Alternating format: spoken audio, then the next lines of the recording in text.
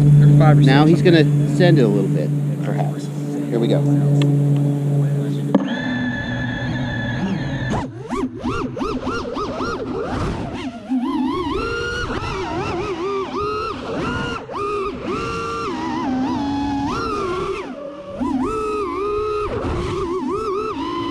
I'm Joshua Bardwell, and you're going to learn something today. 6S low KV. That's the keyword of the day. We've been running four cell batteries on our quadcopters for quite a while now. That's kind of become the standard. But recently, Catalyst Machine Works started floating this idea that if we take our batteries from four cell up to six cell, but then take our motor KV down so that the RPM at the prop is the same as it would have been on four cell, then well, is something better? I don't know.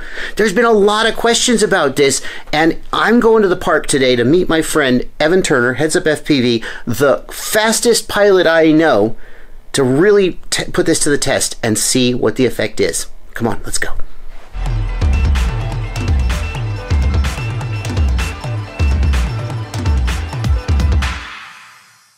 All right, what do you got there, Jeff? Uh, Immersion RC eight-way lap RF. Uh huh. What's that going to do for us? It is going to track lap times of up to eight pilots at one time. Ooh. Accurately track lap times.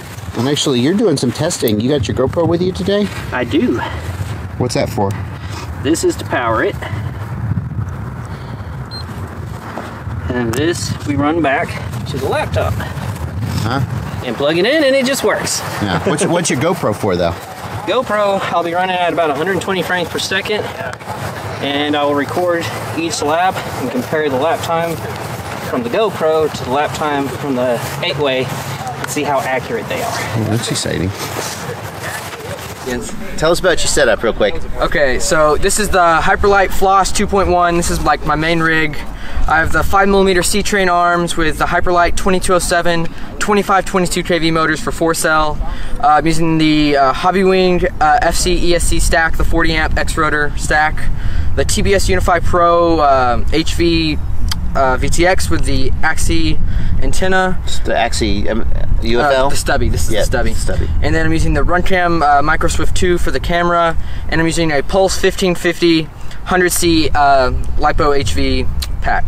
Uh, is it overcharged right now? No, it's 4.2. 4.2. And so are the six cells, 4.2 Okay. volts per cell. Gotcha. So should be pretty fair test. And the motors are, these are, you said 25, 22, and the other ones are, 17, 22. which is almost exactly, if you work the math, the right RPMs. Yes. The first test we're going to do is most laps in two minutes, which Evan tells me is a common way of qualifying at big multi GP races. I wouldn't know, not having been to any big multi GP races. But basically, they send all the pilots out, they race for two minutes, and whoever finishes the most laps goes to the top of the, the leaderboard. Uh, the only challenge is that you have to be able to finish two minutes of flight time, which for a lot of these racers is pretty challenging. Evan tells me that he that would always overcharge his packs to 4.35 volts per cell uh, in order to even be able to have a hope of making it. Today he's running at standard 4.2 volts per cell. Let's see how he does. The lap times are actually not even the focus.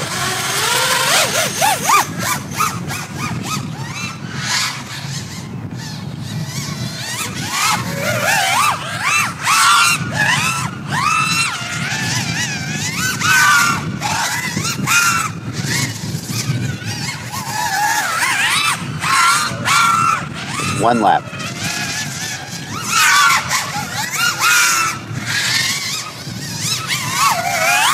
That's two laps. Jeff, are you running a two minute event? Are you running a two minute event? Okay, great. It's three laps. Nine, six. Nice.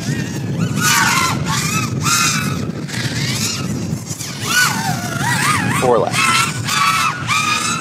Nine flat.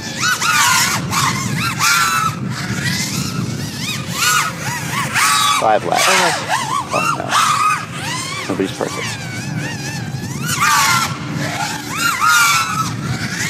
Six laps. At one minute, he's hitting 14.0, 13.9. 14.1 under load, so 9.9. Still in there at 14.0. 9 I've lost count of the laps. Starting to sag. Starting to sag. So now is the point where you're starting to lay back to keep it from sagging out on you. 30 seconds left. 75% of the way through and you're having to lay back. And one, two laps are getting slower now. 13, 8, 13, 6, 13, 7, 6 That's packed dead. at 12, 4, 12, 3, 12, 2, 12. It's done basically. 11 laps battery in in two minutes, and the battery was at 12, 9 ish when he finished. Now let's see what he does. Uh, you want to run 6S or you want to do fastest lap while you're still on 4S? Uh, I'll do fastest lap. All right. 2405, 2522, Oh, I'm about 6S, to Globe with mollywop this HQ 4.8. Mollywop. Yeah. Wow, he's gonna mollywop it. Hashtag mollywop. Yeah. Fastest lap. Am I good?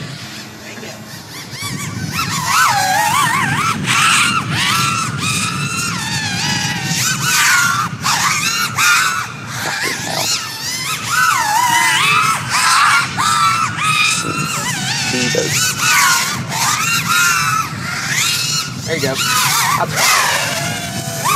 Oh, I didn't pick it up. Damn it. 19.4 is an 8.2 average, though. That's pretty good. I mean, that's an 8.2 average over two laps, so that's. No, that's a that'd be 16. 16. Sorry, my bad. I can't, I'm not good at math. Is it? Hopefully it works this time.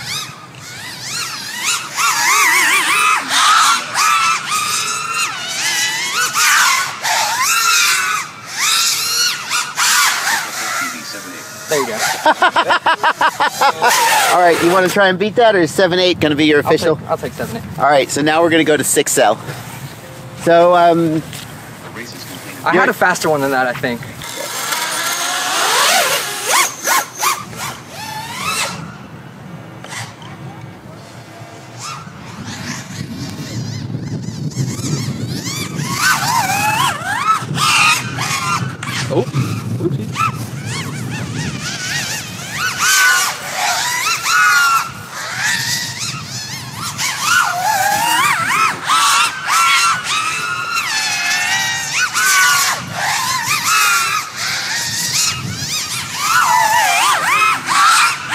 991.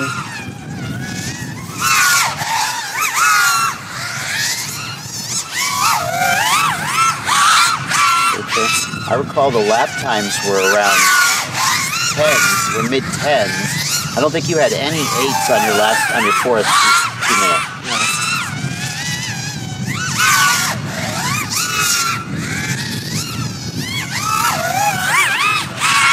Nine. So if you get more laps, we're at one minute and we're around 20, 21 volts. So I'll have to back out well, how many volts per cell that is, but 9.3. 45 seconds, still holding at 20.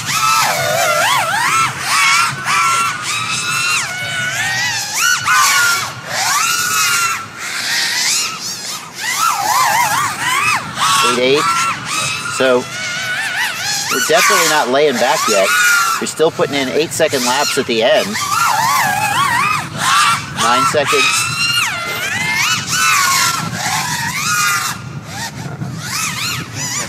Fifteen seconds. 21 volts, still holding it around 21 volts, barely flashing. Eight. Nine second lap.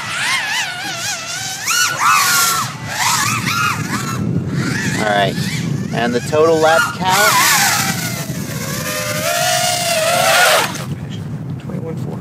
21.4. Um, what, what volts is that? What's that right now? 21.4. The lowest was 20.4. It was getting down to 20.4. Let's see how many laps that was. How many laps did you do on 4S? 11 laps on 4S. And how many laps did you do on 6S? 13. 13 laps.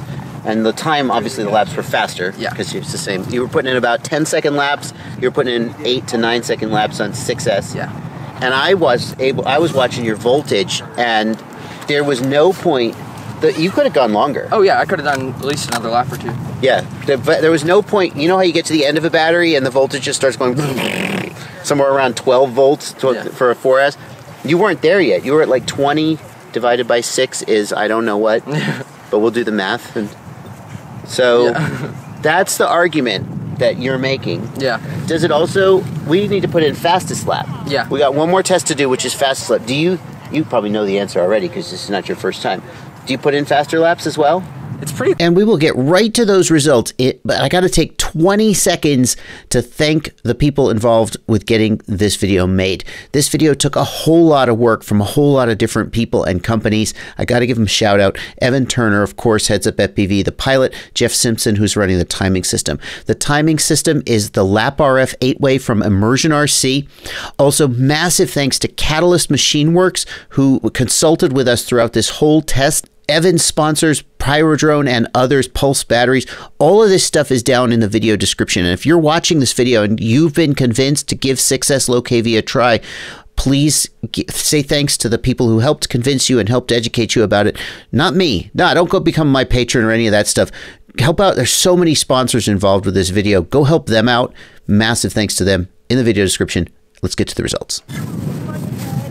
You ready, Jeff?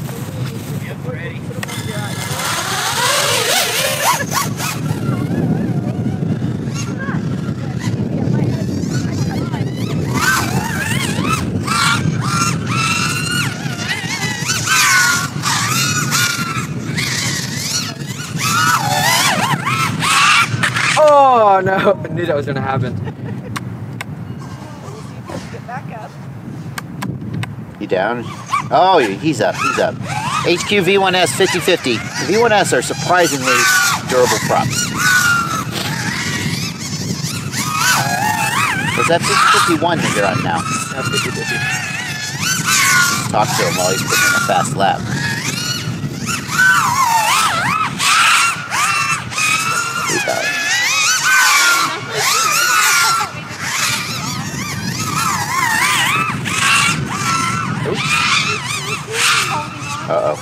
Now it's in his head. There you go.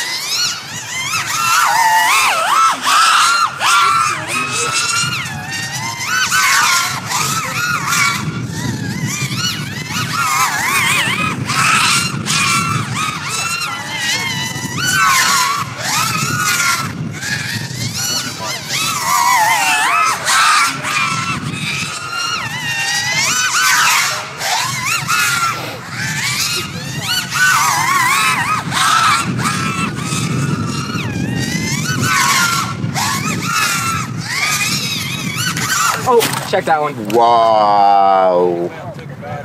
I feel like that was awfully close to Yeah, it was. I just went full throttle.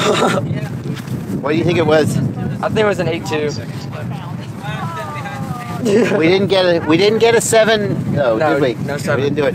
You, you look like you. What do you think? It was. How do you think it was flying?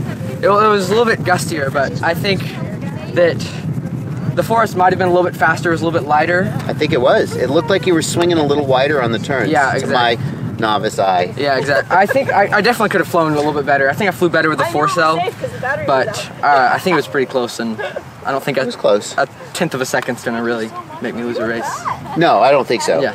I wonder. I was thinking if the if you could have gotten two more laps out of that six L on the two minutes, Mm-hmm. could you have used a smaller pack No, no, it's just and, been- and been lighter and faster? I j- the reason I like the 1250 so nice is there's no sag. Like with the four cell, it was just a constant decrease in lap time. No, I mean, I mean, like maybe instead of a twelve fifty, like a, a ten fifty. That's what I'm saying. The 1250, I've flown, I have 1050s, and they Okay. it's just like a 4S. I It see. starts high and then just slowly decreases in lap times and speed, and there's sag. It's consistent. yeah, the 1250 is just like the, the last lap feels just like the first lap, really. So if we could sum it up, maybe what we could say is that 6S is not necessarily making you faster on any given lap, it's more but it's, it's more consistent. Yeah, more- and giving you more endurance. Yeah. So, so you're not getting sag at the end. Yeah, so I might not have faster lap times, but the total race time like fr- from beginning to end will be faster because I won't have slower laps at the end. There you go. Well, that's the final word.